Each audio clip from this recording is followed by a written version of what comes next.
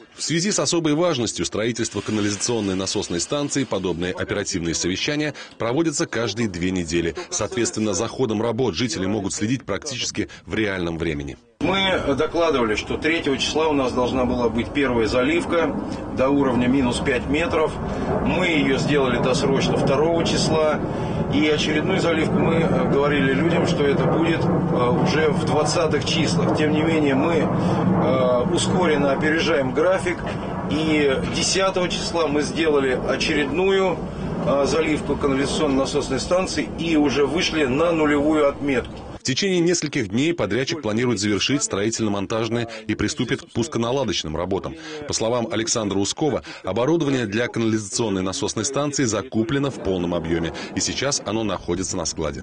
Работу на объекте видно, как говорится, невооруженным глазом. Сейчас заканчивается возведение подземной части канализационно-насосной станции. Через пару дней сверху появится бетонная плита. Затем работы продолжатся уже поверх нее.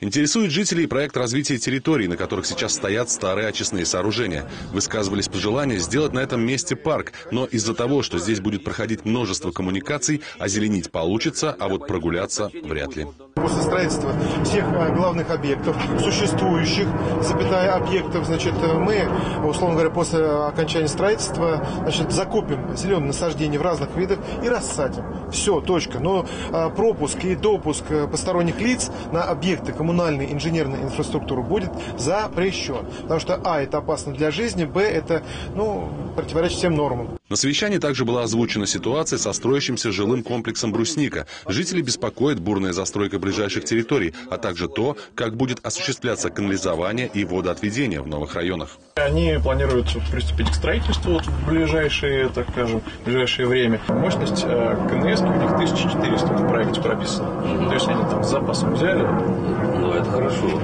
Да. Еще раз, проект согласован, завершается экспертиза, а в сентябре планируют завершить строительство. Эта КНС будет подключена к недавно возведенному, но уже действующему коллектору, который тянется до КНС на улице Старонагорной. На совещании также рассмотрели ситуацию со строительством микрорайона Эковидная-2. После завершения основных работ вот по этой КНС у нас тот же подрядчик, э, уже есть заключенный договор с, с природоохранной технологией, который потом плавно перейдет для строительства КНС уже в Эковидном 2 по планам, как бы у нас сейчас нету такой горячки, мы планируем все работы на следующий год. На объекте у Купеленки сроки хоть и поджимают, но строители уже опережают график более чем на неделю. Заместитель главы администрации Ленинского района Александр Усков пообещал, что этот темп будет сохранен. Что касается строить, э, пусконаладочных работ, мы будем стремиться завершить, э, сделать э, наладку оборудования, установить соответствующую насосную группу, арматуру, э, соответствующие трубопроводы подвести в срок до 1 сентября.